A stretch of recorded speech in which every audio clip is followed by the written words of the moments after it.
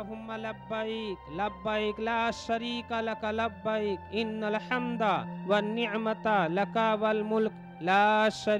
Luck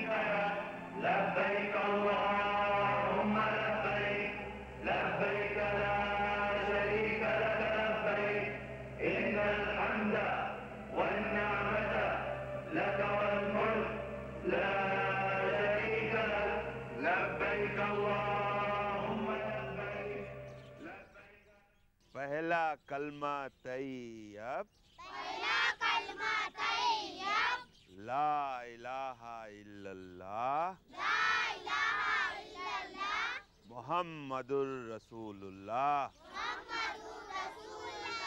शाबाश शब आप लोग खुद बोलिए।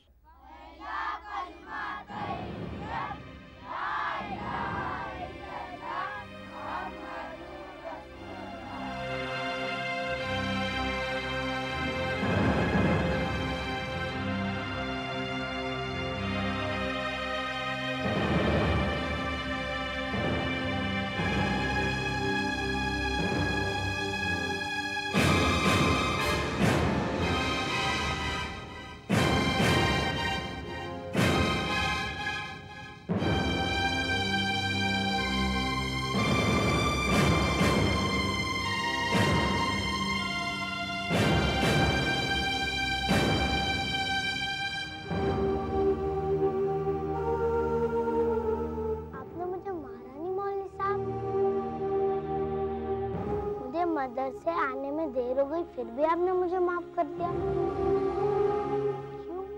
बेटे, दीन और इबादत में कोई ज़ोर ज़बरदस्ती नहीं है।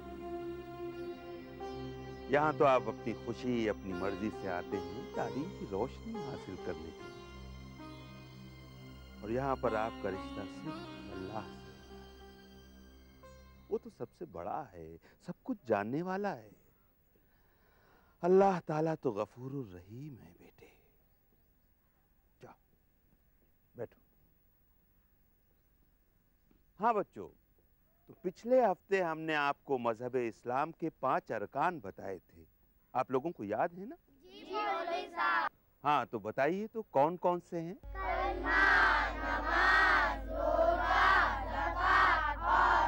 माशाल्लाह मौलवी साहब मेरे अबू और अम्मी भी इस साल हज करने जा रहे हैं। सुबह अल्लाह। अल्हम्दुलिल्लाह।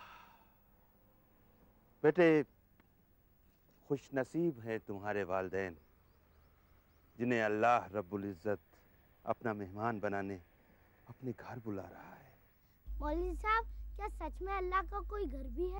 हाँ बेटी खाने काबा जो मक्का शरीफ में है वही अल्लाह का घर है। लेकिन मौलवी साहब आपने तो ये भी कहा था कि अल्लाह हर जगह रहता है। हाँ बेटे अल्लाह ताला हर जगह रहता है। अब देखिए ना जैसे आप यहाँ मौजूद हैं लेकिन आपके अम्मी और आपके अब्बू आपके घर में आपका ज़िक्र कर रहे होंगे तो उनके लिए आप वहाँ भी मौजूद हैं और यहाँ भी। उसी तरह से अल्लाह ताला वहाँ भी है और यहाँ भी। जहाँ जहाँ उसका ज़िक्र होता है वो वहाँ वहाँ मौजूद होता है बेटे। लेकिन मौलवी साहब अल्लाह में दिखाई क्यों नहीं देते? यही तो उसकी कुदरत है बेटे जो दिखाई दे वो अल्लाह कैसे हो सकता है? वो तो एक नूर है, एक तजल्ली है, जो ना देखी जा सके ऐसी रोशनी। तजल्ली आज़म, सदा लब्बैक की, हज का जमाना याद आता है। हरम की पाक सरहद का तराना याद आता है। दुआएँ मांगना वो मुल्तजिम पर किस तरह भूलूं? तड़पना और मचलना गिड़गिड़ाना याद आता है।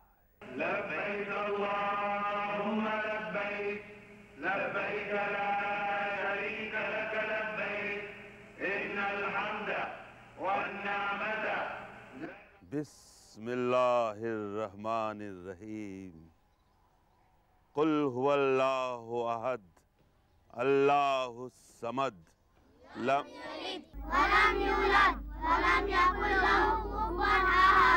सुबहान अल्लाह सुबहान अल्लाह अल्लाह आप लोगों को हमेशा इल्म और ईमान की रोशनी से नवाजे। मौली साहब लोग जहाँ हज करने जाते हैं वो कौन सा मुल्क है? वो सऊदी अरब है बेटे। नबियों की सरजमी सुना है वहाँ रेत ही रेत है। हाँ है तो। तब तो वहाँ खूब गर्मी होती होगी। हाँ बेटे दिन में तो खूब गर्मी होती है। लेकिन रात में चाँद और सितारों की ठंडक रहती है। और चांदनी रात में अरब बद्दुओं के लगे हुए दूर दूर तक के खैमे बहुत खूबसूरत दिखाई देते हैं। मौलवी साहब ये हज क्या होता है और लोग हज करने क्यों जाते हैं? हज एक इबादत है। अल्लाह के हुक्म की ताबेदारी। लेकिन बेटे, ये इबादत दूसरी तमाम इबादतों से मुख्तलिफ़ है, अलग है। अच्छा पहले आप लोग ये बताइए कि हम इबादत क्यों करते हैं? रोज़ा क्यों रखते हैं? नमाज़ क्यों पढ़ते हैं? सवाब कमाने के लिए नमाज़ पढ़कर हम दुआ मांगते हैं, तौबा करते हैं कि अल्लाह हमारे गुनाह को माफ़ कर दे और हमें जहन्नुम के अजाब से बचाए। हाँ। लेकिन इसके साथ साथ एक बात और भी है। इबादत करके बंदा अल्लाह से अपनी चाहत का, अपनी मोहब्बत का इजहार करता है। और क्यों ना हो? उसने हमें पैदा किया। सारी नेमतें अता की। हमें रोजी देता है। मुसीबतों और तकलीफों से निजात दिलाता है। क्या उसका हम पर लाख लाख एहसान नहीं है? जी मौलवी साहब इसीलिए तो हम बार बार अल्लाह का शुक्र अदा करते हैं। हाँ बिल्कुल ठीक। गोया हम अल्लाह की इबादत उसकी खुशनूदी और उसकी रजा के लिए ही करते हैं। अल्लाह की इबादत करने के लिए हमें अल्लाह की तरफ़ ध्यान लगाना पड़ता है। हम उसकी तरफ़ यकसुई और तवज्जो से ध्यान लगाते हैं। लेकिन कभी कभी हमारा ध्यान दुनियावी बखेड़ों में भटक जाता है। कभी कभी ख्यालात सताते हैं हमारी इबादत में खलल पड़ता है। क्या ये अल्लाह का करम नहीं है कि वो हमारी ऐसी इबादत को भी कबूल कर लेता है? लेकिन जो लोग हज करने के लिए अपना गाँव, अपना शहर अपने रिश्तेदार छोड़कर घर से दूर वहाँ उस मकाम पर पहुँचते हैं तो वो सिर्फ़ अल्लाह की ज़ात से लौ लगाते हैं, उसी की तरफ़ रुजू होते हैं। उस मकाम का आलम, उसकी रौनक, उसकी बहार, वो माहौल, जहाँ उसकी ज़बान पर सिर्फ़ अल्लाह का नाम होता है, उसके दिल में सिर्फ़ खुदा की याद होती है, उसकी नज़र के सामने सिर्फ़ खुदा का घर होता है और कुछ नहीं होता। दुनिया भर के मुसलमान भाइयों के साथ खाना काबा का तवाफ करना रोना गिड़गिड़ाना तौबा करना हज अस्वद को बोसा देना धक्कों और कुचले जाने की परवाह न करना। सुबह अल्लाह वल्हम्दुलिल्लाह। वला इलाहा इल्लल्लाह। वल्लाहु अकबर। अरे क्या हुआ मौलवी साहब को? क्या हुआ मौलवी साहब को? मौलवी साहब? ओ मौलवी साहब। हाँ? कहाँ खो गए आप? नहीं हाँ सुबहान अल्लाह क्या अल्लाह की शान क्या मंजर क्या समा होता है हज का? ये उस पाक ज़मीन का मोजजा ही तो है कि इंसान वहाँ बेखुद हो जाता है, तभी तो उसे अल्लाह का घर कहते हैं।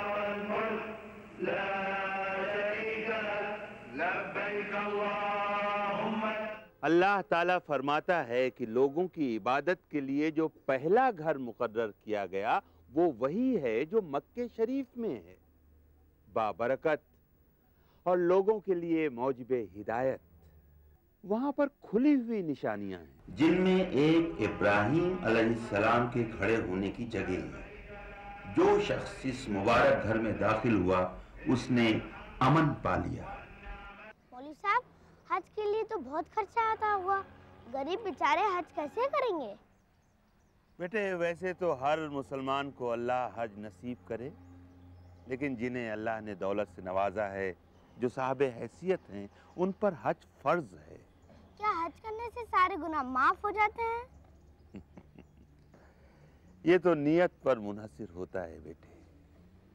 अगर कोई ये समझता है कि वो गुनाह पर गुनाह करता जाएगा और बस हज करके अपने गुनाह माफ़ करवा लेगा तो गलत समझता है। हज की अदायगी के बाद इंसान बिल्कुल ऐसा हो जाता है जैसे उसी दिन अपनी माँ के पेट से पैदा हुआ हो। बेटे हज एक जिहाद है। एक ऐसा जिहाद जिसमें एक हाजी तरह तरह की तकलीफ़ें, मुसीबतें और परेशानियाँ उठाकर भी अल्लाह की इबादत में मशगूल रहता है। यहीं इसी घर में वो अपनी ज़िंदगी के तमाम गुनाहों के लिए माफ़ी माँगता है। हर हर कदम पर उसे लाखों सवाब अता होते हैं और लाखों गुनाहों से वो निजात पाता है। तो मैं भी हज करने जाऊँगा मौलवी साहब। बेटे अल्लाह तुम्हारी और हर मुसलमान की आरज़ू पूरी करे। मौलवी साहब ये अल्लाह का घर अल्लाह ने खुद ही बनाया होगा ना?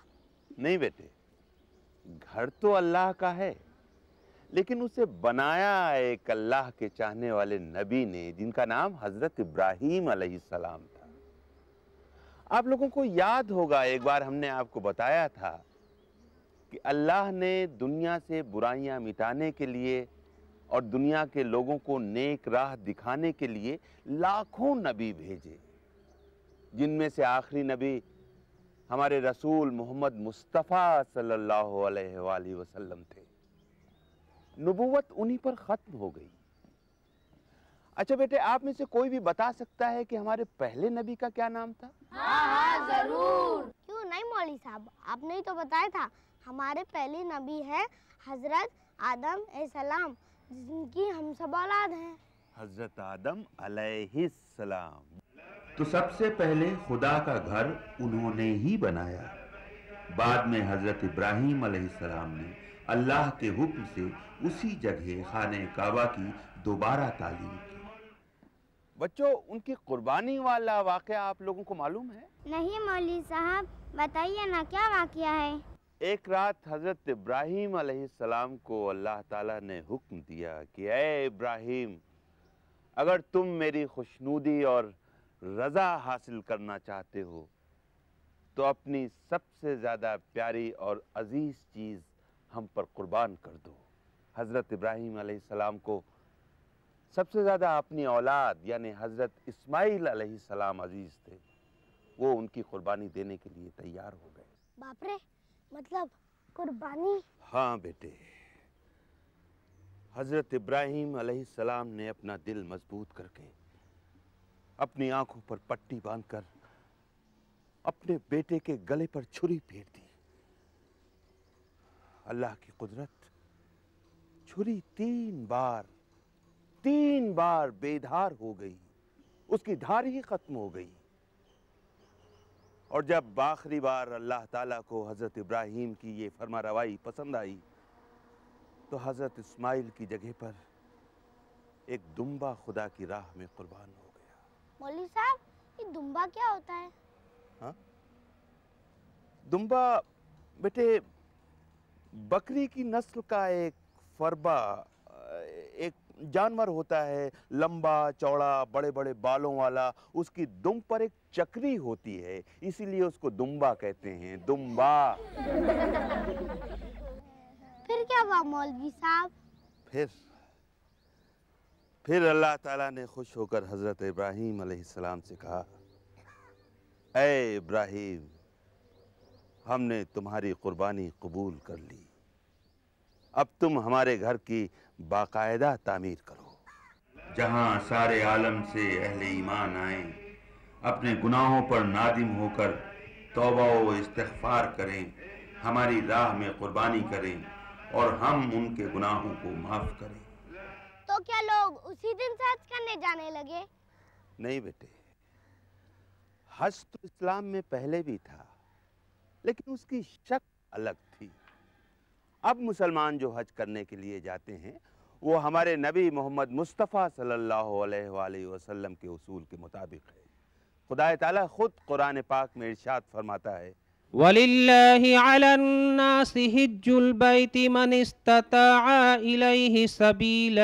लोगों पर फ़र्ज़ है कि जो खुदा के घर तक जाने की हैसियत रखते हैं वो उसका हज करें। लेकिन मौलवी साहब हिंदुस्तान से इतना दूर हज का सफ़र करना बड़ा मुश्किल काम होगा। बेटे ये सफ़र कोई आम सफ़र नहीं है। इसमें पाक पाकिजगी नज्म ज़ब्त तहजीब व अदब सब्र व इस्तक़लाल है। अपने नफ्स की और दुनिया की ख्वाहिशात पर काबू पाना तकलीफ़ों का मुश्किलात का सामना करना ही असल हज है। हज का एक मकसद और भी है बेटे। वो क्या है मौलवी साहब? देखो इस्लाम का एक बहुत अहम उसूल है, मसावात। मसावात का मतलब समझते हो ना? अच्छा मैं मैं समझाता हूँ। देखो बेटे, मसावात का मतलब होता है बराबरी, यानी दुनिया का हर शख्स, हर आदमी बराबर है। ना ही कोई बड़ा है और ना ही कोई छोटा। अल्लाह के उस घर में दुनिया के कोने कोने से, हर मुल्क से, हर कौम के लोग आते हैं। अलग अलग फिरके अलग अलग जमात के होते हैं। लेकिन हज के दौरान सभी एक साथ, एक ही लिबास में, एक ही घर की तरफ़ मुँह करके, एक ही खुदा की इबादत करते हैं। वहाँ लोग एक दूसरे को सिर्फ़ सलाम करने या हाथ मिलाने नहीं जाते, बल्कि अखुवत भाईचारा इतिहाद और इंसानियत का सबक लेने जाते हैं।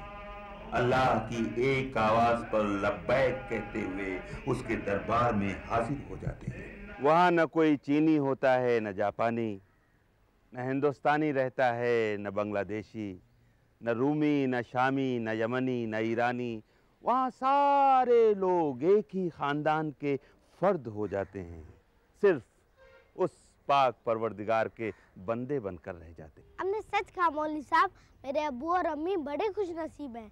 एक और खुशी की बात सुनाओ मेरे अब्बू और अम्मी हवाई जहाज़ से जा रहे हैं। पहली बार हज पे जा रहे हैं और पहली बार हवाई जहाज़ में बैठ रहे हैं। अरे वाह वाह वाह। अच्छा बेटे तुमको मालूम है अगर तुम्हारे अब्बू आज से चार पाँच साल पहले हज करने के लिए जाते तो उन्हें पानी के जहाज़ से जाना पड़ता? जिसमें महीनों लग जाते। ये ज़रूर है कि उस जमाने में कुछ हाजी हवाई जहाज़ से भी जाते थे क्योंकि हज के लिए हवाई खिदमत शुरू हो चुकी थी।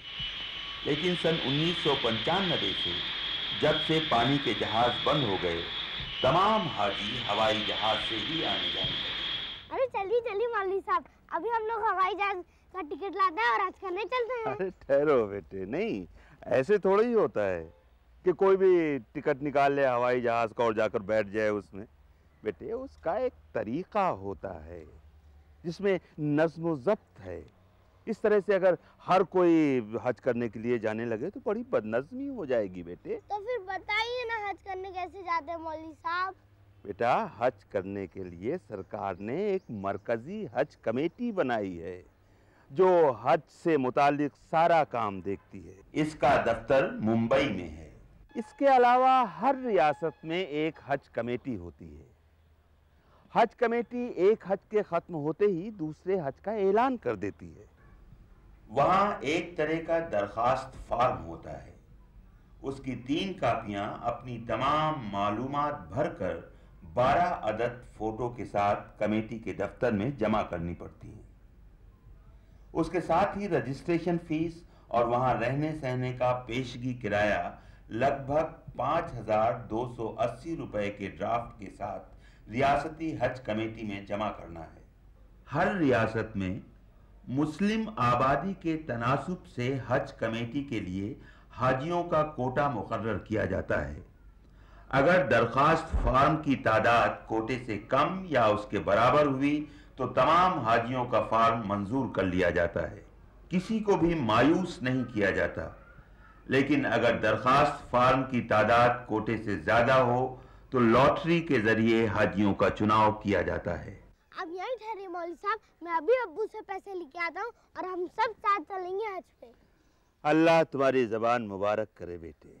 लेकिन सुनो ये काम तो पिछले महीने ही खत्म हो चुका। है जो खुश नसीब थे उन्हें इस साल की हज की इजाज़त भी मिल गई जैसे तुम्हारे अब्बू को। अल्लाह के फजल करम से पिछले तीन सालों से सब दरखास्तें मंजूर हो रही हैं।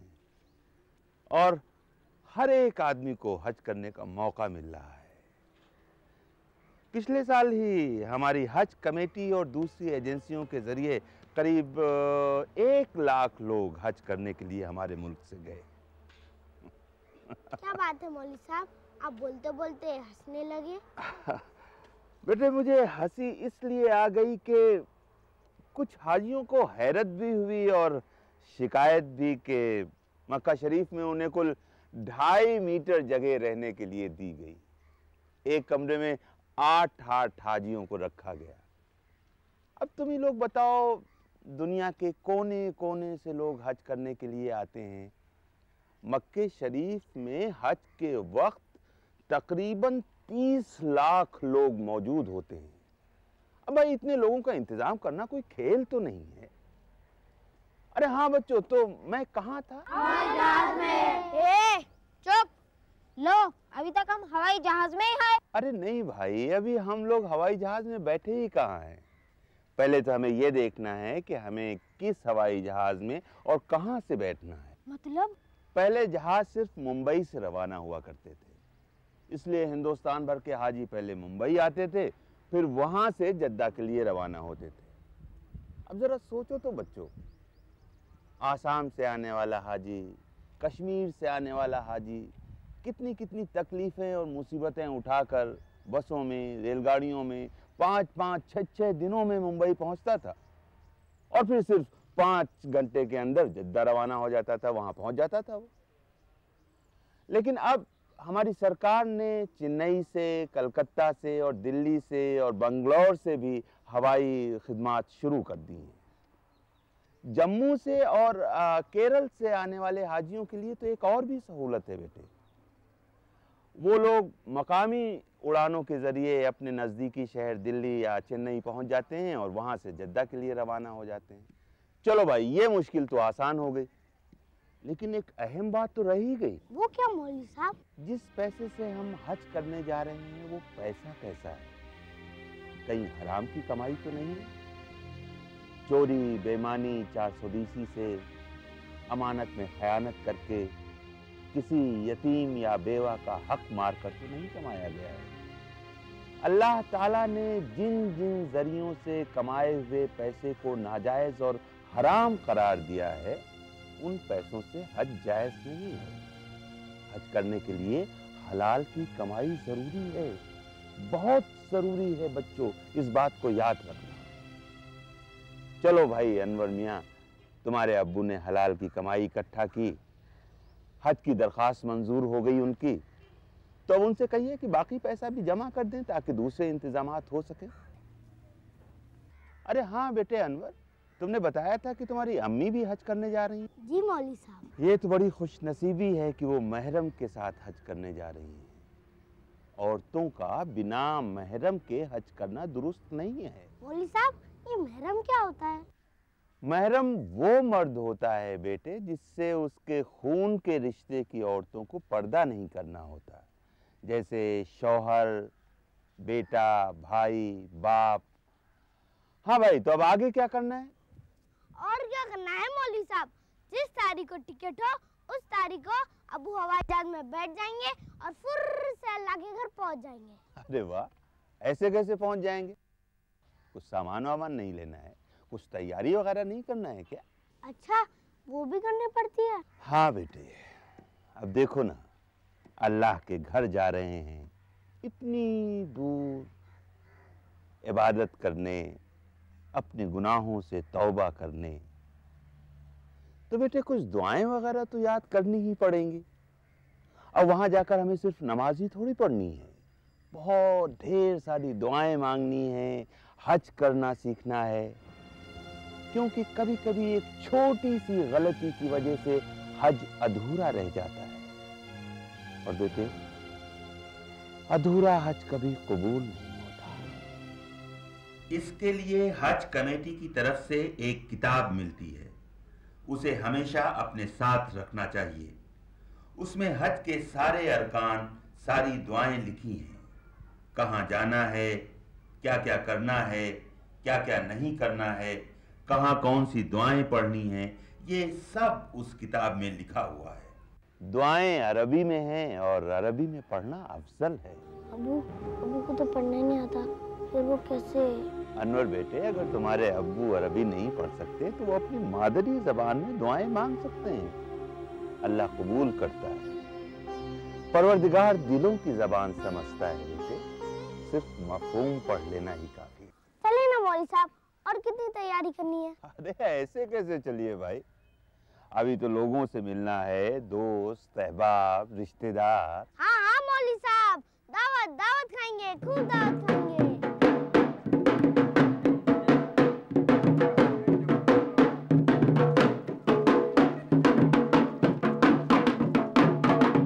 गलत बिल्कुल गलत। ये दावत, फूल, हार, ये सब खामखा की रस्में हैं। कोई ज़रूरत नहीं है इनकी। खैर, मैं कुछ और ही कहने जा रहा था। देखो बेटे, हम दुनियादारी और दुनिया का कारोबार छोड़कर आखिरत कमाने के लिए जा रहे हैं। इसलिए यहाँ पर जो दुनियावी जिम्मेदारियाँ हम पर हैं, वो किसी को सौंप कर ही जाना चाहिए। अगर किसी का कारोबार है या छोटे छोटे बच्चे हैं तो किसी की निगरानी में देना होगा, ताकि उनको यहाँ का ख्याल बार बार न सताए। और हाँ सबसे ज़रूरी चीज़ ये है कि अगर आप किसी से या कोई आपसे बरसों से नाराज़ है, नाचाकी है, बातचीत बंद है तो हट पर जाने से पहले उसे मनाइए, उससे माफ़ी मांगिए और उसको माफ़ कीजिए। कहिए। अल्लाह तुम्हें माफ़ करे, हमें भी माफ़ करे। बेटे अनवर, ये सब बातें अपने अब्बू को बता देना। मैं कुछ ज़रूरी सामान की लिस्ट भी बनाकर तुम्हें दे दूँगा। वो अपने अब्बू को दे देना, जिसे वो साथ में ले जाएँ। और हाँ हवाई जहाज़ में बैठने से पहले अपनी सेहत की जाँच ज़रूर करवा लें। उनसे कहना कि यहाँ के सरकारी अस्पताल से अपना पूरा इलाज करवाएँ। अगर मलेरिया का खतरा हो तो उसकी दवाइयाँ भी एक हफ़्ते पहले ही इस्तेमाल कर लें। इसके अलावा दिमागी बुखार का टीका लगवाकर उसका सर्टिफिकेट भी साथ रखना ज़रूरी है। ये सर्टिफिकेट जद्दा के हवाई अड्डे पर दिखाना होगा। इसके अलावा अपने साथ कुछ दवाएँ भी ले जाएँ खास तौर से इलेक्ट्रॉल पाउडर क्रोसिन मेटासिन और दूसरी बुखार की दवाइयाँ भी साथ ले लें। रोज़ाना इस्तेमाल की दवाइयाँ ज़रूर साथ रखनी चाहिए। वैसे मक्का शरीफ, मदीना शरीफ और मिना में सरकारी अस्पताल और दवाखाने हैं, जो हाजियों की खिदमत के लिए चौबीसों घंटे खुले रहते हैं और वहाँ पर उनको मुफ़्त दवाइयाँ दी जाती हैं। लेकिन इसकी नौबत ही ना आए, इसका ख्याल पहले से रखें। बेटे, अपने अबू से बता देना कि सऊदी अरब में बहुत बहुत ज़्यादा गर्मी पड़ती है। उससे हमेशा बचें। अगर कभी किसी खुली हुई जगह में हो तो धूप की गर्मी से बचने के लिए अपने हाथ और पाँव ढाक कर रखें। शरबत और पानी का ज़्यादा से ज़्यादा इस्तेमाल करें। और हाँ हैजे से बचने के लिए शक्कर और नमक का मिला हुआ पानी हमेशा पीते रहें। दौरान हज किसी किस्म की जिस्मानी तकलीफ़ ना हो इसका ख्याल रखें। समझ गए ना बेटे? जी मौलवी साहब। मौलवी साहब अब और क्या बाकी है? बस अब क्या अब तो सामान बांधना रह गया। अरे हाँ सामान पर याद आया बच्चों के। कुछ हाजी लोग अपने साथ इतना ज़्यादा सामान ले जाते हैं कि उनके लिए मुसीबत बन जाता है वो। और हज के रास्ते में रुकावट। अच्छा तो तुम लोग बताओ इसके लिए क्या करना चाहिए? कम से कम सामान लेना चाहिए जो बहुत ज़रूरी है। सामान हल्का हो और इतना हो कि उसे आसानी से उठाया जा सके। हर एक सामान पर न मिटने वाली रोशनाई से अपना नाम पता मौलिम का नाम वगैरह ज़रूर लिख लें। और हज कमेटी की तरफ़ से दिए गए लेबल में मालूमात भर के अपने हर एक सामान पर चिपका लें। तुम्हारे अब्बू को इस तरह अपना सामान हवाई अड्डे पर और दूसरी जगहों पर तलाश करने में आसानी होगी। यहाँ से 25 किलो सामान आप हवाई जहाज़ पर फ्री ले जा सकते हैं, लेकिन वापसी पर सामान के साथ साथ 10 किलो खजूर और एक डिब्बा आप जमजम लाने की रियायत है। आपको मालूम है बच्चों? बाज लोग तो 50-50 किलो तक खजूर ले आते हैं। और सामान का वज़न मुकर्रर हद से बढ़ जाने पर हवाई अड्डे वालों को काफ़ी किराया देना पड़ता है। मज़े की बात तो यह है कि खजूर की कीमत कई गुना ज़्यादा बढ़ जाती है। इसलिए वज़न के मामले में हमेशा मुहतात रहना चाहिए। अनवर बेटे, अब मैं ज़रूरी सामान की जो लिस्ट बता रहा हूँ, उसे अच्छी तरह याद करके अपने अब्बू को दे देना, हुँ? दो जोड़ी एहराम का सफ़ेद कपड़ा, ढाई गज का बयालीस इंच चौड़ा, एक तौलिए के कपड़े का हो और दूसरा सादे सूती कपड़े का, एक चमड़े की बेल्ट, जिससे एहराम को अच्छी तरह कसकर बाँध सकें, दो जोड़ी हवाई चप्पल, पानी का डिब्बा या कैनवास बैग एक छोटा सा बैग कंकरियों के लिए, एक हैंड बैग एक प्लास्टिक का लोटा, कप और ग्लास, एक जानमाज, तस्बीह और सजदेगाह, दो तौलिए, एक लुंगी, एक कंबल, कैंची, सुई और धागा, दाढ़ी बनाने का सामान, टॉर्च, साथ में ज़्यादा सेल, फ़र्स्ट एड और आम दवाइयाँ जैसे हाजमोला, बाम वगैरह बिना खुशबू वाला साबुन नहाने के लिए, कपड़े धोने का पाउडर और तेल बालों के लिए, नाश्ते का सूखा सामान मिना और अरफात के लिए, एक हल्की जंजीर और नायलॉन की रस्सी सामान बांधने के लिए, दो छोटे छोटे ताले अपने सूटकेस या सामान में लगाने के लिए, एक बड़ा ताला कमरे में लगाने के लिए, जिसकी दो या तीन चाबियाँ हों, धूप का चश्मा। और सब तो ठीक है, मौलवी साहब। लेकिन एक ताले की दो तीन चाबियाँ किस लिए? अरे बुद्धू एक खो जाए तो दूसरी दूसरी खो जाए तो तीसरी समझा? और अगर सारी खो जाए तो? चुप! अनवर मियाँ ने जो कुछ कहा वो भी किसी हद तक ठीक है। अगर आप अकेले कमरे में रहते हैं तो। लेकिन बच्चों यहाँ मसला दूसरा है। कई हाजी लोग इबादत करने या तवाफ करने के लिए अपना कमरा बंद करके चले जाते हैं। वो ये भूल जाते हैं कि उनके साथ में उसी कमरे में दूसरे हाजी हजरात भी रहते हैं, जिन्हें चाबी ना होने की वजह से तकलीफ़ हो सकती है। लिहाजा दो, तीन या इससे ज़्यादा चाबियाँ बनाकर रखना चाहिए। और अगर आप एक ही खानदान के कई लोग एक ही कमरे में रहते हैं तो भी यही करना चाहिए ताकि उन्हें सहूलत हो। हाँ एक बात का खास ध्यान रहे। अपने साथ कोई नशीली चीज़ ना रखें। पता है इसकी सजा मौत है। हाँ तो बच्चों ये तो रही हमारे घर से निकलने की पहले की तैयारी। अब इसके बाद हम अपना गाँव कस्बा या शहर छोड़कर उस शहर को जाएँगे जहाँ से हमें जद्दा के लिए हवाई जहाज़ मिलेगा। अच्छा हाँ एक बात तो बताओ। हमारे यहाँ से सबसे नज़दीक का हवाई अड्डा कौन सा है? शाबाश! बेटे, वहाँ कम से कम दो रोज पहले पहुँच जाना चाहिए। और सीधे हज कमेटी के दफ्तर जाकर अपने ज़रूरी कागजात, पासपोर्ट या पिलग्रिम पास।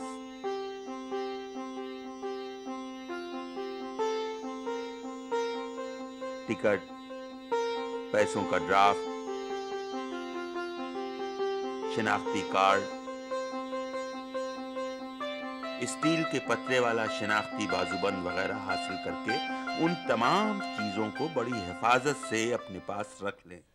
ये कागजात न सिर्फ़ हमारे हिंदुस्तानी होने का पक्का सबूत हैं, बल्कि हमारी पहचान, हमारी शनाख्त के लिए भी बेहद ज़रूरी हैं। बहुत से हाजियों का पासपोर्ट वगैरह खो जाने पर उन्हें काफ़ी परेशानियों का सामना करना पड़ता है। लिहाजा अपना पासपोर्ट नंबर और दूसरी मालूम अपने पास लिख कर रख लें। साथ ही अपने फ़ोटो की कुछ कापियाँ भी रख लें। याद रहे, अपना पासपोर्ट और टिकट आप सूटकेस या लगेज में न डाल दें। उसे अपने पर्स में या छोटे हैंडबैग में हमेशा अपने साथ रखें, ताकि ज़रूरत पड़ने पर अफसरों को दिखाने के लिए आसानी से निकाल सकें। अपना हवाई जहाज़ का टिकट खास तौर से बहुत एहतियात के साथ संभाल कर रखना चाहिए। अगर ये खो गया तो फिर हवाई अड्डे से ही वापस आना पड़ेगा। अब इतने लाखों लोगों की भीड़ में आप भटक भी सकते हैं। इस कार्ड से आपको मदद मिलेगी।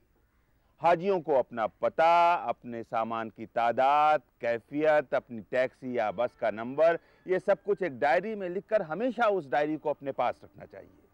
और हाँ अपने मौलिम का नाम पता या फ़ोन नंबर ज़बानी याद रखना चाहिए। अब चलिए हवाई अड्डे पर।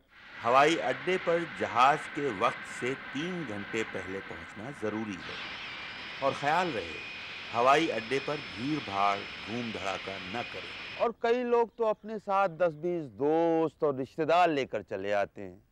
ये सख्त नादानी है बेटे। हाँ एक बात का खास ख्याल रखें।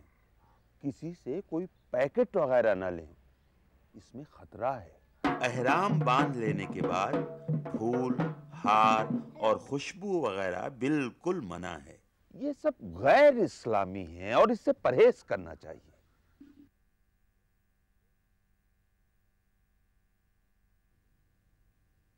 हाँ बच्चों, हवाई जहाज़ में बैठने से पहले एहराम बांधना ज़रूरी है। ये एहराम क्या होता है? और वो क्यों बांधते हैं? बेटे एहराम बिना सिले हुए सफ़ेद कपड़े को कहते हैं जिसे लपेटकर सारा बदन ढाका जाता है। हाजी जब हज या उम्रा की नियत कर लेता है और तलबिया यानी लब्बैक पढ़ लेता है तो उस पर कुछ हलाल और मवाह चीज़ें हराम हो जाती हैं। इसीलिए इसको एहराम कहते हैं और एहराम बांधना फ़र्ज़ है। ये अल्लाह का हुक्म है। अल्लाह अपने तमाम बंदों को एक ही रंग के, एक ही तरह के लिबास में अपने घर में देखना पसंद करता है। इसे खुदा की वहदानियत, इस्लाम की शान, मसावत इतिहाद और यकसानियत का इजहार भी होता है। और बच्चों, एहराम बांधने के लिए तीन बातें लाजमी हैं। पहली, उम्र के नियत से एहराम बांधना। दूसरी, तलबिया यानी लब्बैक पढ़ते रहना। लब्बैक, अल्लाहुम्मा लब्बैक लब्बैक। ला शरीक लका लब्बैक। इन्नल हमदा वन नेमता, लका वल मुल्का। ला शरीक लका, यानी मैं हाजिर हूँ। अय रब मैं हाजिर हूँ। तेरा कोई शरीक नहीं। मैं हाजिर हूँ। इसका विर्द नींद से उठते ही करें। हर फ़र्ज़ और नफिल नमाज़ के बाद करें। सवारियों के करीब पहुँचने पर पढ़ें। सवारियों पर चढ़ते और उतरते वक्त पढ़ें। और तीसरी चीज़ है पाबंदी। यानी अहराम बांधने के बाद कुछ चीज़ों पर सख्ती से पाबंद रहें। आप शिकार नहीं कर सकते हैं, शिकारी की मदद नहीं कर सकते हैं, शिकार की तरफ़ इशारा भी नहीं कर सकते हैं, पेड़ पौधे नहीं काट सकते हैं, ना मच्छर मक्खी, जू वगैरह मार सकते हैं, न नाखून काट सकते हैं, न बाल काट सकते हैं, बाल तोड़ भी नहीं सकते, खुशबू और सुरमे का इस्तेमाल नहीं कर सकते, सिला हुआ कपड़ा नहीं पहन सकते, सर को टोपी या अमामे से नहीं ढाक सकते हैं। मतलब एहराम से पहले सब ज़रूरी काम कर लेना चाहिए। हाँ बेटी एहराम बांधने से पहले गुस्ल करके बदन को अच्छी तरह से पाको साफ़ कर लेना चाहिए। नाखून व मूछे वगैरह तराश लें। बगल वगैरह के गैर ज़रूरी बाल साफ़ कर लें।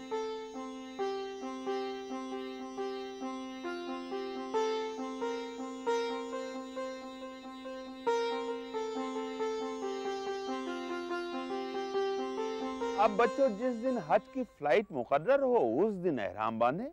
हज दूसरी इबादत से बिल्कुल अलग है। बेटे, हज तीन तरह के होते हैं। पहला हज तमत्तो, दूसरा हज करान और तीसरा हज मुफरत। हिंदुस्तान से जाने वाले हाजी हज तमत्तो की नियत करके जाते हैं। इसमें पहले दो रकत नफिल नमाज़ पढ़कर उम्रे की नियत की जाती है। अय अल्लाह मैं नियत करता हूँ उम्रा की। तू मेरे लिए इसे आसान कर दे और इसे कबूल फरमा। अय अल्लाह तेरी ही रजा के लिए मैंने उम्रा की नियत की है और एहराम बांधा है। जब हाजी मीकात से गुजरे तो हालत एहराम में हो। मीकात उस जगह को कहते हैं जहाँ हज के इरादे से मक्का शरीफ जाने वाले हाजियों के लिए एहराम का बांधना लाजमी होता है। बगैर एहराम बांधे उस जगह से गुजरना जायज़ नहीं है। मिकात पाँच होते हैं। हिंदुस्तान से जाने वालों के लिए कोह यलमलम का इलाका मिकात है। ये समंदर में आती है और जहाज़ वाले इसकी इतला पहले से दे देते थे। उस मकाम से पहले ही एहराम जहाज़ पर ही बाँध लिया जाता था। लेकिन बच्चों, पानी के जहाज़ तो बंद हो गए। सारे हाजी हवाई जहाज़ से ही जाते हैं। और हवाई जहाज़ से कोई यलमलम का अंदाज़ा नहीं होता। हालाँकि इसकी इत्तला दी जाती है, लेकिन अब तुम ही सोचो, हवाई जहाज़ में वज़ू करना, नफिल पढ़ना, एहराम बांधना बहुत मुश्किल होता है। इसलिए हवाई जहाज़ पर चढ़ने से पहले हवाई अड्डे पर ही एहराम बाँध लेते हैं। हम वहाँ एक ऐसे मुल्क में जा रहे हैं जहाँ से सारी दुनिया को तहजीब की रोशनी मिली। वहाँ पर हम अपने मुल्क हिंदुस्तान की नुमाइंदगी करते हैं। लिहाजा हमें कोई भी ऐसी हरकत नहीं करनी चाहिए जिससे हमारे मुल्क हिंदुस्तान के नामो नामूस पर आँच आए हमारी बदनामी हो। क्या तुम ऐसा करना चाहोगे बच्चों? हरगिज नहीं मौली साहब। ये तो बुरी बात है। हवाई जहाज़ में दुआएँ पढ़ते, नमाज़ पढ़ते पढ़ते आप जद्दा पहुँचे।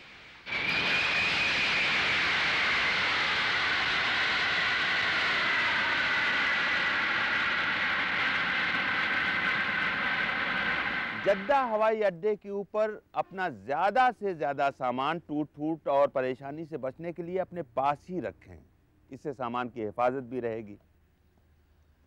कागजात और पासपोर्ट अपने हाथ ही में रखें, ताकि सऊदी हुकाम और हवाई अड्डे के अफसरों को दिखाने में आसानी हो। इससे टाइम की बचत भी होगी।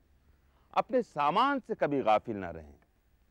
वहाँ पर जद्दा हवाई अड्डे के हॉल में आपको हिंदुस्तानी सफारत खाने का अमला भी दिखाई देगा, जो आपकी रहनुमाई करता रहेगा। अब सबसे पहले आप अपना बैंक ड्राफ्ट कैश करा लें, क्योंकि अगर आप कैश नहीं कराते हैं तो बाद में आपको परेशानी हो जाएगी। क्योंकि बस पर बैठते ही आपका मुअल्लिम आपका पासपोर्ट ले लेगा और बैंक ड्राफ्ट बगैर पासपोर्ट के कैश नहीं कराया जा सकता है।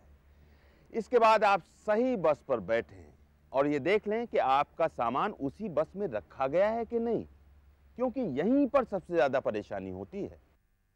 ये सब बातें जो मैंने बताई हैं याद रहेंगी ना? हाँ हाँ मौली साहब सब याद है।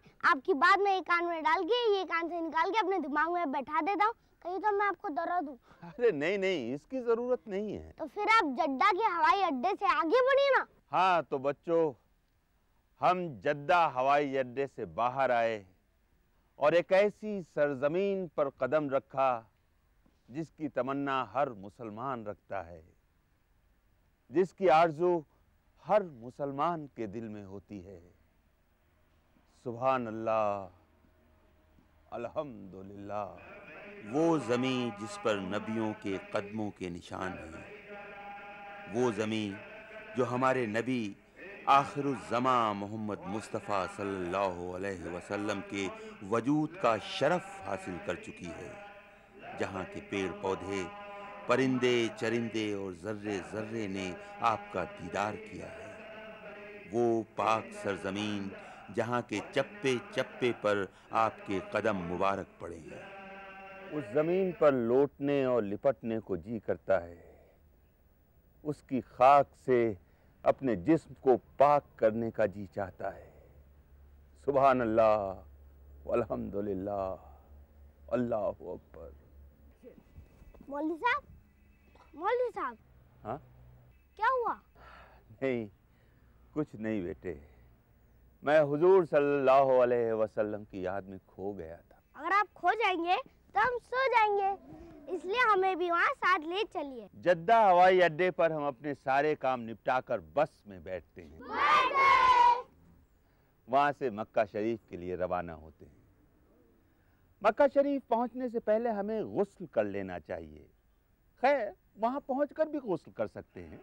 लीजिए, हम मक्का शहर में दाखिल हो गए। वो देखिए दूर, वो पहाड़ियों के बीच ऊँचे ऊँचे मीनार नज़र आ रहे हैं ना? वही हरम शरीफ है। काबतुल्लाह। चलिए चलिए, दुरूद शरीफ पढ़िए, तकबीर पढ़िए। ला इलाहा इल्लल्लाह, वल्लाहु अकबर, और तलबिया का विर्द भी कीजिए।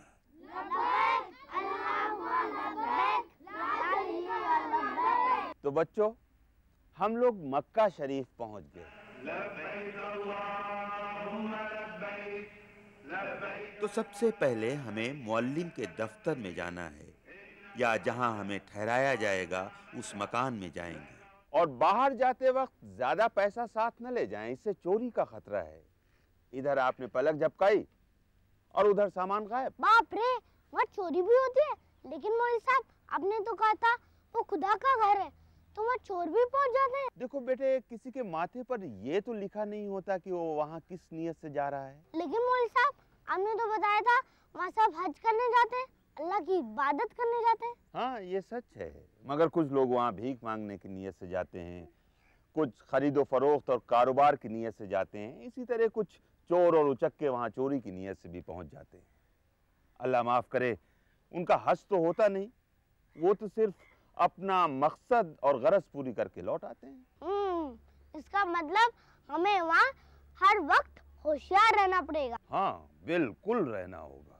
लेकिन मौलवी साहब हम लोग इबादत करेंगे या अपने सामान पे ध्यान रखेंगे? हाँ इसीलिए वहाँ पर ज़्यादा सामान पैसा जेवरात वगैरह लेकर नहीं जाना चाहिए ताकि चोरी का डर ही ना हो और हम बेफिक्र होकर अपने हज के अरकान पूरे कर सकें। हम्म आगे बताइए ना। तो सबसे पहले हम गुस्ल और वज़ू करके उम्रा करने के लिए हरम शरीफ जाएँगे। हरम शरीफ, जिसे मस्जिदुल हराम भी कहते हैं, उसमें हम किसी भी दरवाजे से दाखिल हो सकते हैं। लेकिन बाबुस सलम से दाखिल होना अफजल है।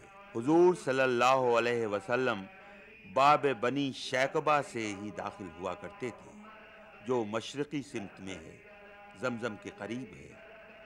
हरम शरीफ में दाखिल होते वक्त अपना दायां पाँव पहले बढ़ाएँ। निगाहें फर्श पर जमा कर चलें। तकरीबन सौ कदम चलने के बाद हम बरामदे में से होकर गुजरेंगे तो हरम शरीफ के सहन में आ जाएँगे। और जब हम नज़र उठाकर देखेंगे तो काबतुल्लाह हमारे सामने होगा। उस पर नज़रें जमा दी जाएँ और ये दुआ पढ़ें। बिस्मिल्लाहि वस्सलातु वस्सलामु अलैका या रसूल अल्लाह सल्लल्लाहु तआला अलैहि वसल्लम। अल्लाहुम्मा गफिर ली ज़ुनूबी वफ्तह ली अबवाब रहमतिक। यानी शुरू अल्लाह के नाम से और सलामती हो हमारे रसूल सल्लल्लाहु अलैहि वसल्लम पर। अय अल्लाह, हमारे गुनाहों को माफ़ कर हमारी मगफिरत अता फरमा और खूब दुआएँ मांगे। पलक झपकाए बगैर जो भी दुआ मांगेंगे वो पूरी होगी। ये अल्लाह पाक का वादा है। क्या दुआएँ मांगे? सबसे अफजल दुआ है कि उसकी सारी जायज़ दुआएँ ता ज़िंदगी पूरी होती रहे। तो अब तवाफ शुरू होता है। हजर असवद की ठीक सीध में काले पत्थर की बनी एक पट्टी फर्श पर नज़र आएगी। आप इस पर जहाँ जगह मिले खड़े हो जाएँ। हजर असवद की तरफ़ मुँह करें, दोनों हाथ कानों तक उठाएँ, बिस्मिल्लाह बेहमदही कहें और तवाफ शुरू कर दें। तवाफ के वक्त काबा आपकी बाईं तरफ़ होगा। पहले तीन चक्करों में दाहिने शाने से एहराम को गिरा लें। और तेज़ी से अकड़ अकड़ के चलें। इसको इस्तबा कहते हैं। तवाफ के दौरान अगर दुआएँ याद न हों तो चारों कलमे पढ़ते रहें। मुकाम इब्राहिम के पास से गुजरें तो दुरू शरीफ पढ़ें। रुकन यमनी से हजर असवद के बीच ये दुआ पढ़ते रहें। रब्बना आतना फिद दुनिया हसनतों व फिल आखिरत हसनतों व किवा नार। यानी अय अल्लाह तू मुझे इस दुनिया में भी भलाई दे और आखिरत में भी मुझे दोजख की आग से बचा। मौली साहब ये दुआ तो हमें भी याद है। हर नमाज़ के बाद हम यही दुआ पढ़ते हैं। शाबाश बेटे शाबाश। हमारे रसूल पाक सल्लल्लाहु अलैहि वसल्लम ने भी ये दुआ कसरत से पढ़ी है। तो इस तरह हम हजर असवद तक पहुँच जाएँगे बच्चों और एक चक्कर पूरा हो जाएगा। इसी तरह हर चक्कर में हम हजर असवद को बोसा देंगे और रुकन यमनी को छूकर सात चक्कर पूरे करेंगे। मौली साहब अगर ये दुआ भी याद न कर सके तो? बेटे इतना याद करना तो ज़रूरी है। लेकिन फिर भी अगर याद ना हो तो सुबहान अल्लाह अल्हम्दुलिल्लाह अल्लाह अकबर का दौर ही काफ़ी होगा। और अपने दिल में या अपनी जबान से जो भी दुआ मांगना चाहें, मांगते रहें। अगर तवाफ के दौरान फ़र्ज़ नमाज़ का वक्त हो जाए तो तवाफ रोक कर पहले नमाज़ अदा करें। बाद में जहाँ से तवाफ छोड़ा था, आगे पूरा करें। तवाफ पूरा हो जाने पर हम पर तवाफ की दो रकत नमाज़ वाजिब हो गई। ये दो रकात नफिल हम मकाम इब्राहिम में आकर अदा करें तो बेहतर है। अगर जगह न मिले तो हरम शरीफ के सहन में कहीं भी पढ़ी जा सकती है। इस नमाज़ के बाद ही तवाफ मुकम्मल होता है। हाँ एक बात का ध्यान रहे इस दौरान हमेशा हालत वज़ू में ही रहें। अब हम मुकाम इब्राहिम में दुआ मांगें जो ज़रूर पूरी होती है। मौली साहब ये मकाम इब्राहिम क्या होता है? बेटे जिस जगह पर हज़रत इब्राहिम अलैहिस्सलाम ने खड़े होकर खाने काबा की बाकायदा तामीर शुरू की थी वो पत्थर जिस जगह पर रखा हुआ है वो जगह मकाम इब्राहिम कहलाती है। उस पत्थर पर हज़रत इब्राहिम अलैहिस्सलाम के पैरों के निशान हैं। मकाम इब्राहिम में तवाफ की नमाज़ से फारिग होकर हमें मुल्तजिम की तरफ़ आने की कोशिश करना है। मुल्तजिम हजर असवद और काबतुल्लाह के दरवाजे की चौखट का दरमियानी पाँच या छः फुट ऊँची दीवार का एक हिस्सा है। खान काबा में ये बड़ा आला मुकाम है और दुआ कबूल होने की जगह है। बहुत से अम्बिया अलैहिस्सलाम और सहाबा कराम ने मुल्तजिम पर अपना सीना लगाकर रो रो कर अल्लाह ताला से दुआएँ मांगी हैं। लाखों लोगों के हुजूम में ये मौका मुश्किल से ही मिल सकता है। फिर भी कोशिश करना चाहिए। और अगर ऐसा मुमकिन ना हुआ तो दूर से ही हाथ उठाकर दुआ मांगें। अल्लाह ताला ज़रूर कबूल फरमाएगा। दुआ से फारिग होकर जमजम की तरफ़ जाएँ और खूब पेट भर के आबे जमजम पिए। अपने मुँह और बदन पर छिड़काव भी करेंगे। जमजम पीते वक्त ये दुआ पढ़ें। अल्लाहुम्मा जअलहु इल्मन नाफिआ व रिज़क़न वासिआ व शिफाअन मिन कुल्लि दाइमि व सक़मी। अय अल्लाह, मैं तुझसे वसी रिस्क और नफ़ा रसा इल्म और हर एक बीमारी से शिफा का तालिब हूँ। हुजूर सल्लल्लाहु अलैहि वसल्लम की हदीस भी है। फरमाते हैं, जमजम खूब कसरत से पियो। इसमें हर बीमारी की शिफा है और हर दुआ की कबूलियत है। अब समझ में आया कि बीमारों को जमजम क्यों पिलाते हैं? और सेहतमंद लोग भी क्यों पीते हैं? बिल्कुल ठीक। यानी बीमारों की शिफा के लिए तंदुरुस्तों की जजा के लिए गुनाहों से मगफिरत के लिए। जब कोई आदमी मौत के करीब होता है तो भी मौत की तकलीफ़ कम करने और मगफिरत के लिए उसके मुँह में जमजम डालते हैं। अब हम उम्र का आखिरी मरहला सही करेंगे, यानी सफ़ा और मरवा के बीच दौड़ेंगे। मस्जिदुल हराम से हजर असवद के बिल्कुल सामने की तरफ़ कुछ फासले पर एक गुंबद और एक मीनार नज़र आता है, जो ऊपरी मंजिल पर है। दरअसल ये दो पहाड़ियाँ थीं, सफ़ा और मरवा। इनकी चोटियाँ हरम शरीफ के शुमाली दालान के दोनों तरफ़ उठी हुई थी। पहले तो इन दोनों पहाड़ियों के दरमियान खुला हुआ रेतीला मैदान था, लेकिन अब इनके दरमियान संगमरमर का दो मंजिला बरामदा बना दिया गया है। आमतौर पर नीचे की मंजिल में सही की जाती है, लेकिन जब हाजियों का हुजूम हो, तब ऊपरी मंजिल और छत पर भी सही की जा सकती है। मौली साहब, ये बात तो समझ में आ गई। लेकिन यहाँ दौड़ लगाना सही करना क्यों ज़रूरी है? सफ़ा और मरवा की सही का ताल्लुक दरअसल हज़रत बीबी हाजिरा से है। ये अमल हाजियों के लिए वाजिब करार दिया गया है। इसी मकाम पर हज़रत इब्राहिम अलैहिस्सलाम अल्लाह ताला के हुक्म से अपनी नेक बीवी हाजिरा और अपने नन्हे दूध पीते बेटे इस्माइल अलैहिस्सलाम को अकेला छोड़कर चले गए थे। शाहनाम इस्लाम में शायर हफीज जलंधरी ने क्या खूब कहा है। शहर के वक्त इब्राहिम ने उठकर दुआ मांगी, सुकून कल्ब मांगा, हुए तस्लीमो रजा मांगी। कि ऐ मालिक कमल को ताब इरशाद करता हूँ, बीवी और बच्चे को यहाँ आबाद करता हूँ। हज़रत इस्माइल को प्यास लगी। वो रोने लगे। लेकिन उस वक्त वहाँ बियाबान, सुनसान, रेगिस्तान था। दूर दूर तक पानी का कहीं एक कतरा नहीं था। और गर्मी अल्लाह की पनाह बेहद बीबी हाजरा से अपने बच्चे की ये तड़प देखी न गई। उन्होंने नन्हे इस्माइल को वहीं जलती हुई रेत पर लिटार दिया और पानी की तलाश में सफ़ा और मरवा के साथ चक्कर लगाए। कभी उन्हें मरवा की पहाड़ी पर पानी का सुराग लगता तो कभी सफ़ा की। लेकिन वहाँ पानी का एक कतरा भी नहीं।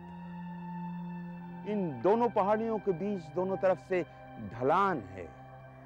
हज़रत इस्माइल कहीं आँखों से ओझल ना हो जाएँ, इसलिए हर बार बीबी हाजरा दौड़कर वहाँ से गुजरती थी। अल्लाह ताला को उनकी ये कोशिश बेहद पसंद आई। जरा उसकी कुदरत देखो। हज़रत इस्माइल की नन्नी नन्नी एड़ियों की रगड़ की जगह पर पानी का एक चश्मा फूट और कभी न रुकने वाला पानी जारी हो गया। ऐसे खुश्क रेगिस्तान में आज तक लामहदूद मकदार में जारी है और ता कयामत जारी रहेगा। तो चलें अब सही करने? हाँ हाँ ज़रूर। चलिए सफ़ा के गुंबद और मीनार की तरफ़ चलते हैं। यहाँ हम काबे की तरफ़ मुँह करके सही की नियत करते हैं।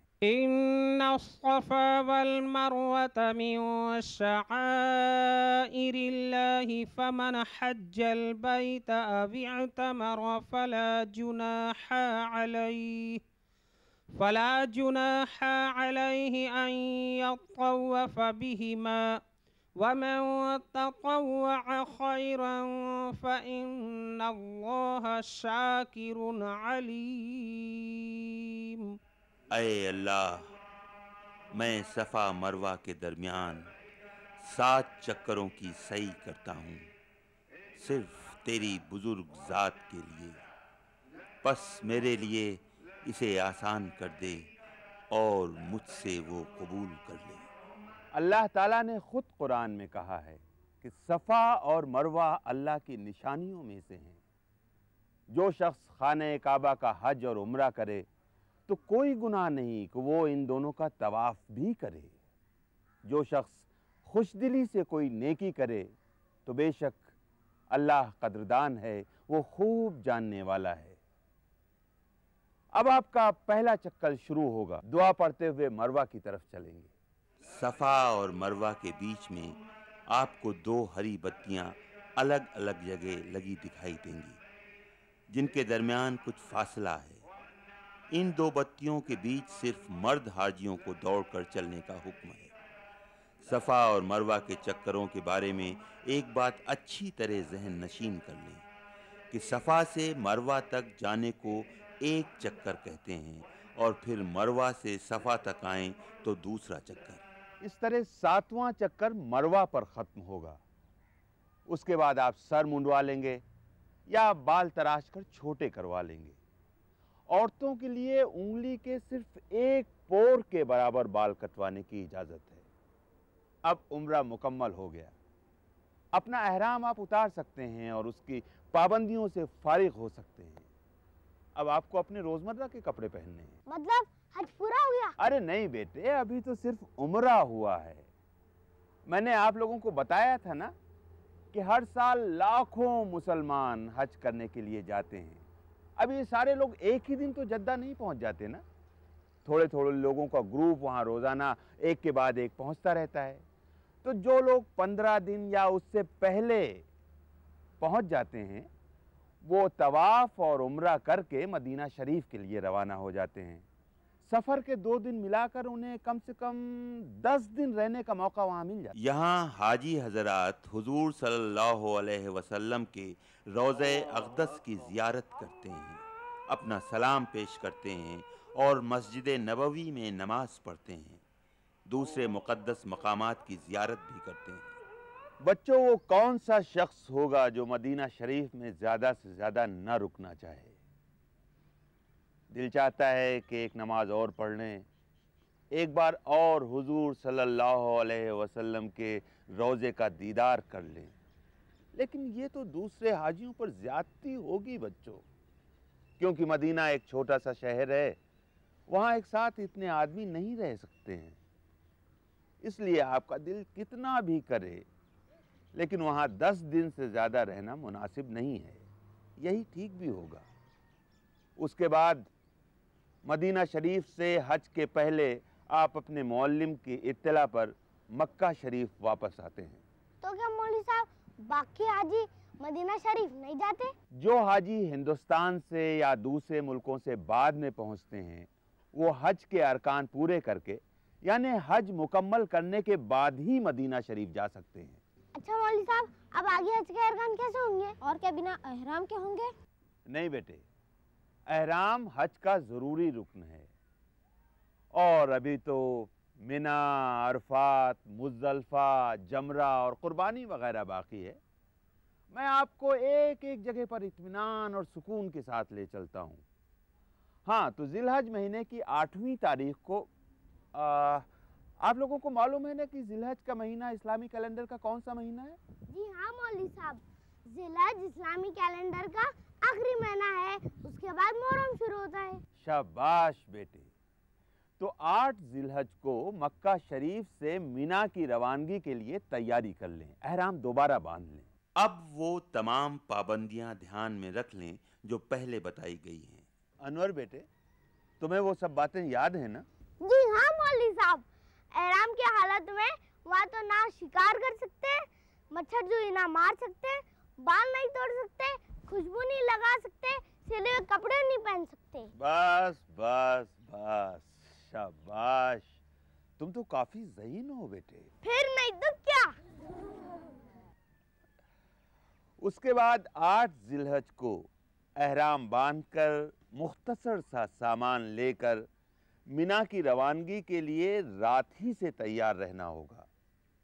फिर अपने मौलम की इतला पर मिना के लिए कूच करना होगा। लेकिन मौली साहब हमने तो सुना था वहाँ आग लग गई थी और बहुत सारे हाजी हाँ बेटे ये एक इबरतनाक हादसा हमारे उन हाजियों की लापरवाही की वजह से हुआ जो अपने खैमों में खाना पका रहे थे। देखो बच्चों हज़ारों लाखों हाजी कपड़े के आर्जी खैमों में रहते हैं। अगर वो उसमें खाना पकाएँगे आग जलाएँगे तो ज़रा सी गफलत भी इस तरह के हादसे का सबब बनती है। इसलिए इन बातों से परहेज करना चाहिए ताकि मासूम हाजियों की जानें ज़ाया न हो। मिना में तमाम हाजी जोहर, असर, मगरिब और इशा की नमाजें अदा करेंगे। दूसरे दिन, यानि नौ जिलहज को फज्र की नमाज़ भी मिना में ही अदा करेंगे। ये पाँचों नमाजें हुजूर सल्लल्लाहु अलैहि वसल्लम ने भी मिना में ही अदा की थी। मिना में नमाजों के अलावा दूसरी इबादतों तिलावत कुरान वगैरह में मसरूफ़ रहें। रात दिन तौबा इस्तगफार करें रोएँ गिड़गड़ाएँ और गुनाहों की माफ़ी मांगें क्योंकि अल्लाह गफूर रहीम है। हम्म, बिल्कुल ठीक। सारे हाजी क्या हर जगह पैदल ही जाते हैं? नहीं नहीं बिल्कुल नहीं।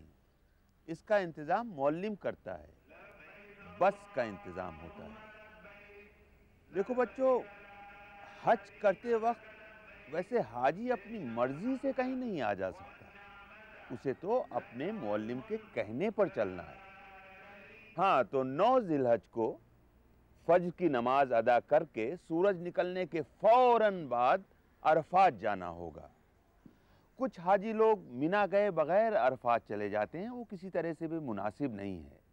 हाँ अगर कोई ख़ास वजह हो तो बात अलग है। खैर, अरफात के लिए रवा दवा हज़ारों, लाखों हाजियों का ये काफिला दूर तक इंसानों का मौजें मारता हुआ समंदर दिखाई देता है। सब एक साथ आगे बढ़ते हैं। अब न कौमियत की परवाह, न जबान का ख्याल, न रंग की परवाह, सभी कंधे से कंधा मिलाकर बढ़ते चले जाते हैं। बंदो साहबो मोहताजो गनी एक हुए। तेरी सरकार में पहुँचे तो सभी एक हुए। ये सब अल्लाह के बंदे, अल्लाह के मेहमान, अल्लाह के बुलावे पर चले जा रहे हैं। और इनकी जबान पर सिर्फ़ एक ही रट है। लब्बैक अल्लाहुम्मा, लब्बैक। इंसानों का ये ठाठें मारता हुआ समंदर अरफात पहुँच जाता है। अरफात पहुँचने पर जो हाजी हजरात मस्जिद नमरा के करीब हों, वो जवाल का वक्त गुजरते ही मस्जिद की हदूद में जोहर और असर एक साथ, एक अजान और दो अकामत से इमाम साहब के पीछे दोनों नमाजें पढ़ेंगे। वहीं हज का खुतबा भी दिया जाता है। बाकी हाजी हजरात अपने अपने खेमे में ये दोनों नमाजें अलग अलग पढ़ेंगे। ये दोनों नमाजें सिर्फ़ मस्जिद नमरा में ही कसर की तरह पढ़ी जाती हैं। बच्चों, क्या तुम लोगों को मालूम है कि मस्जिद नमरा भी हज़रत इब्राहिम अलैहिस्सलाम ने बनवाई थी? तो इस नमाज़ के बाद हम जबल रहमत पर जाते हैं, जहाँ हुजूर सल्लल्लाहु अलैहि वसल्लम ने आखिरी हज के मौके पर खुतबा दिया था और उम्मत की मगफरत के लिए दुआ फरमाई थी। मौली साहब अराफत की इतनी अहमियत है? हाँ बेटे। जोहर से मगरिब के बीच अरफात की हाजिरी हज का सबसे अहम रुकन है। इसके बगैर हज मुकम्मल नहीं होता। जैसा मैंने अभी आपको बताया ये मैदान मगफरत कहलाता है। आप जानते हैं? हज़रत आदम अलैहिस्सलाम और बीवी हव्वा को अल्लाह ताला ने जन्नत से निकाल कर दुनिया में अलग अलग जगहों पर छोड़ दिया था। कहते हैं कि सैकड़ों साल के बाद वो इसी मैदान में मिले और अल्लाह ने उनका गुनाह माफ़ कर दिया। इसीलिए अरफात बहुत पाक और मुक़द्दस समझा जाता है। अल्लाह ताला अपने बंदे की हर ख्वाहिश यहाँ पूरी करता है। क्या सचमुच अल्लाह मियाँ अरफात में इतना मेहरबान हो जाता है मौली साहब? इस बारे में हुजूर सल्लल्लाहु अलैहि वसल्लम की हदीस है। फरमाते हैं जब अरफात का दिन होता है जहाँ तमाम हाजी जमा होते हैं तो अल्लाह ताला अपने फरिश्तों से फरमाता है कि ऐ फरिश्तों देखो मेरे बंदों को वो दूर दूर से चलकर मुस्तक आए हैं रोते हुए गिड़गिड़ाते हुए तने तनहा लाचारी और मायूसी की हालत में फिक्रमंद, चिलचिलाती धूप और गर्मी में भटकते हुए मेरा नाम लेकर मगफिरत तलब कर रहे हैं। फरिश्तों, गवाह रहना, मैंने इन्हें माफ़ कर दिया। अल्लाह अल्लाह सुबहान अल्लाह अल्लाह, तेरी शान जल जलालहू। हाँ तो बच्चों मैदान अरफात में असर और मगरिब के बीच ठहरने की बहुत अहमियत है। उसके बाद सूरज डूबते ही मगरिब से पहले हम मुजदलफा के लिए रवाना होंगे। मौलवी साहब एक बात तो आप भूल गए। अच्छा वो क्या? मगरिब की नमाज़ तो पढ़ी ही नहीं। उस दिन मगरिब की नमाज़ अरफात में नहीं पढ़ी जाती। मगरिब और ईशा की नमाज़ मुजदलफा में पढ़ी जाएगी। हमें मुजदलफा जल्द से जल्द पहुँचना है। मुजदलफा एक खुला हुआ मैदान है। वहाँ पर हाजी अपने साथ लाई हुई कपड़े की चादर पर खुले आसमान के नीचे जहाँ जगह मिल जाए, रात भर कयाम करेंगे। मुजदलफा में सारी रात जागना अफजल है और यहाँ भी सारी रात इबादत, दुरूद और तलबिया में गुजारना चाहिए। नमाज़ पढ़ने के बाद रात ही में इसी मैदान से 50, 60 या 70 कंकरियाँ शैतान को मारने के लिए जमा कर लें। सुबह की नमाज़ पढ़कर मिना वापस जाने की तैयारी करें। जब वादिय महशर के करीब से गुजरें तो बहुत तेज़ी से निकल जाएँ। यहाँ रुकना गुनाह है। मिना पहुँचते ही अपना सामान अपने खेमे में रख दें और कंकरियाँ लेकर जमरात पहुंचें। यहाँ आपको शैतान को कंकरियाँ मारनी है। यहाँ थोड़े थोड़े फासले पर तीन खंभे नज़र आएँगे। जो खंभा मिना की तरफ़ है, उसका नाम जमरत ऊला है, यानी छोटा शैतान। और जो बीच में है, उसका जमरतुल वस्ता, यानी दरमियानी शैतान कहते हैं। और जो मक्का की तरफ़ है, उसे जमरतुल अकबा, यानी बड़ा शैतान कहते हैं। पहले दिन इसे ही कंकरी मारनी है। यहाँ पहुंचकर कंकरिया हाथ में लेकर इस तरह से खड़े हों कि दाहिनी तरफ़ मिना, बाईं तरफ़ काबा शरीफ और सामने जमरा हो। फिर हाथ काफ़ी ऊँचा उठाकर सात कंकरियाँ मारिए एक एक करके। और हर बार ये दुआ पढ़ें, अल्लाह के नाम से शुरू करता हूँ, जो सबसे बड़ा है, ताकि शैतान जलील हो और अल्लाह की रज़ा हो। जो बड़ा मेहरबान है। ये दुआ एक एक कंकरी पर पढ़ी जाए और मारी जाए। ये अमल तुलु आफ्ताब से मतलब सूरज निकलने से दोपहर तक करें। उसके बाद वहाँ न ठहरें फ़ौरन पलट आए। मौली साहब ये शैतान को कंकरिया क्यों मारते हैं? तुम ही सोच कर बताओ। अच्छा मैं ही बताए देता हूँ। दरअसल ये अमल करके इंसान अपने अंदर के शैतान को कंकरियाँ मारता है। रमी जमरा के बाद अब सिर्फ़ तीन अरकान बाकी रह जाते हैं, जिनको पूरा करने पर हज मुकम्मल हो जाता है। पहला है कुर्बानी। ये हज़रत इब्राहीम अलैहिस्सलाम की उस कुर्बानी की पैरवी है जिसमें आपने अपने चहीते बेटे हज़रत इस्माइल अलैहिस्सलाम को अल्लाह की राह में पेश किया था। मिना की फ़रोख्त गाह में मुख्तलिफ़ किस्म के जानवर मिलते हैं।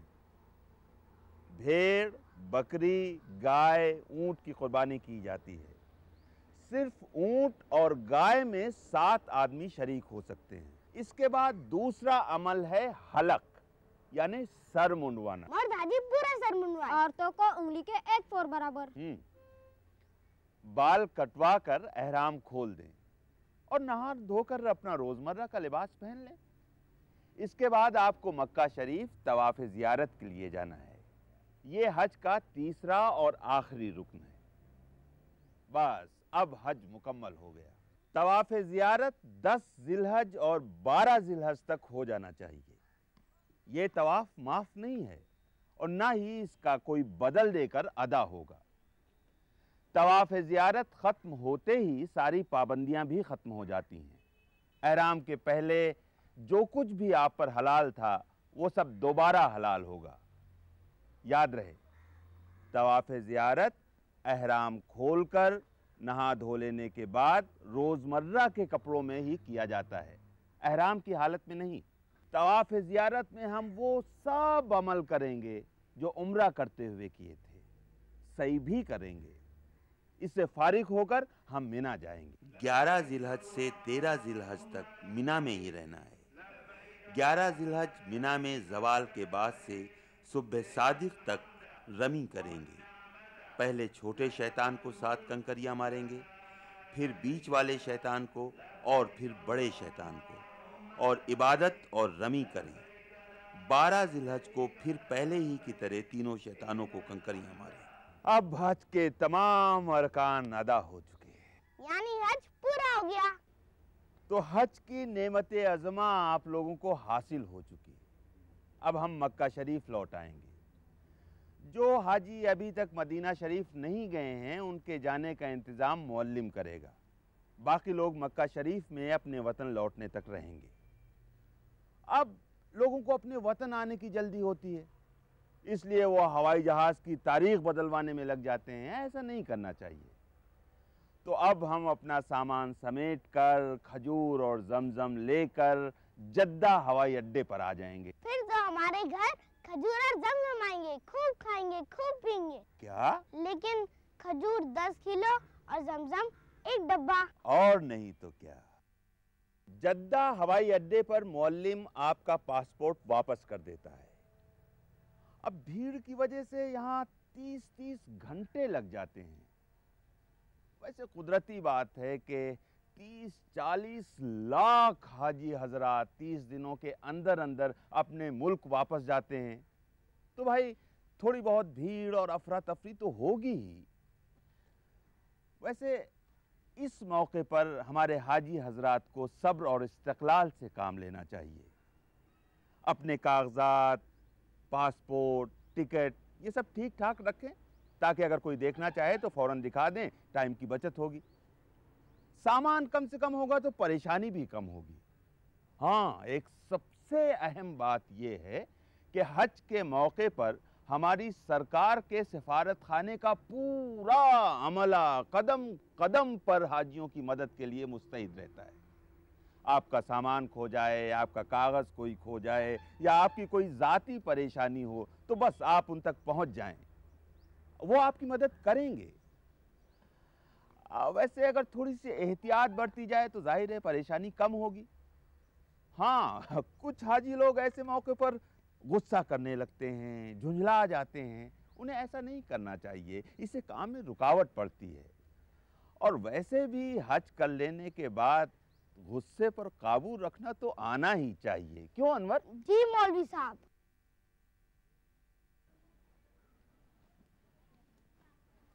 बहुत बहुत शुक्रिया मौलवी साहब। मुझे हज की सारी बातें मालूम हो गई। अब मैं भी हज करने जाऊँगा। आमीन सुम्मा आमीन। बेटा अल्लाह ताला तुम्हारी और हर मुसलमान की ये तमन्ना पूरी करे। मौलवी साहब आपने हज कब किया? बेटे अल्लाह ने कुछ साल पहले ही मुझे ये मौका अता किया। अब तो अल्लाह से दुआ है कि मरहूम वालिद के लिए वो मुझे हज बदल नसीब करे। मौलवी साहब ये हज बदल क्या होता है? बेटे, अगर कोई साहब हैसियत किसी मजबूरी की वजह से हज को न जा सके, बहुत सख्त बीमार हो, इंतकाल कर गया हो तो उसके बदले किसी दूसरे ऐसे आदमी को हज के लिए भेज दिया जाता है जो पहले से हज कर आया हो। इसी को हज बदल कहते हैं। इसमें भेजने वाले को हज का पूरा सवाब मिलता है। अच्छा मौलवी साहब, जब मैं बड़ा हो जाऊँगा और खूब रुपए कमाऊँगा तो मैं सबसे पहले आपको हज बदल करवाऊँगा। अरे वाह जीते रहिए।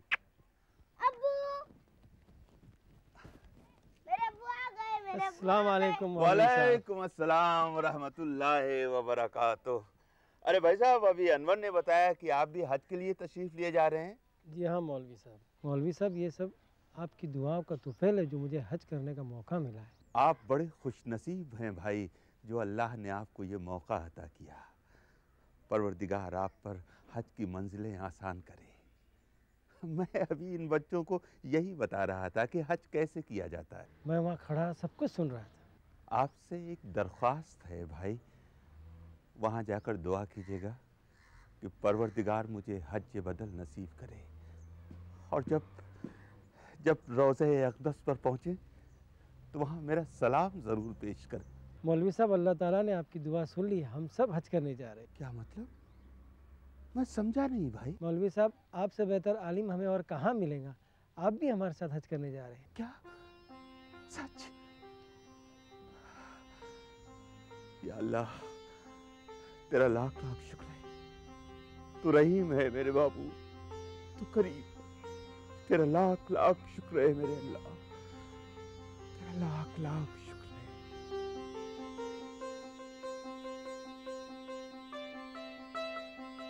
मौलवी साहब आओ हज करें।